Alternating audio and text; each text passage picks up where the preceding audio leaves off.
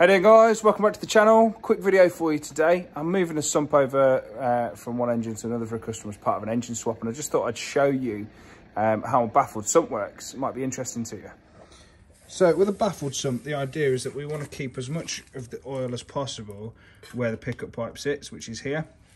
So on long sweeping corners on track use, the oil can all get pushed to one end of the sump or the other end of the sump um, and it can slosh around on acceleration, deceleration and things like that. So the combination of these baffles up here, these walls here, with these valves, is all designed to keep the oil in the centre of the oil pan.